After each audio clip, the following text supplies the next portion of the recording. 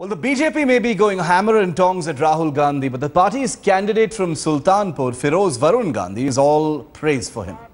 While Varun's mother, Menaka Gandhi, is hit out at sister-in-law, Sonia Gandhi, and has had no problems dismissing Rahul as immature, Varun has praised his first cousin. Now, just listen to the two brothers displaying that unusual camaraderie.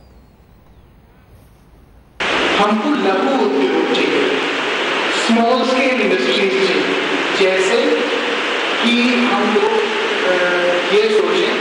कि self help groups जैसे राहुल जी ने अमेठी में सफलतापूर्वक। जो अ, अमेठी में हम continuously strategy के साथ काम कर रहे हैं। अमेठी में हमने एजुकेशन हब का फाउंडेशन तैयार किया है। अ, हमने फ़ूड पार्क और किसानों के लिए लंबी सोच करके काम किया है। तो वो जो जो वरुण कह रहे हैं वो सही कह रहे हैं And now listen to how Menaka Gandhi had attacked her sister-in-law Sonia Gandhi just a fortnight ago.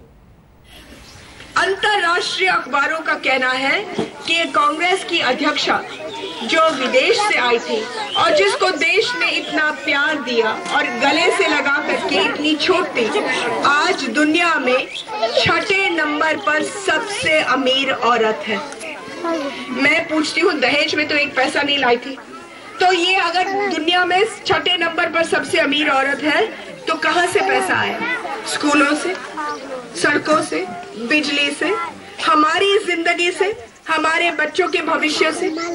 यही पैसा गया है ना लूट में?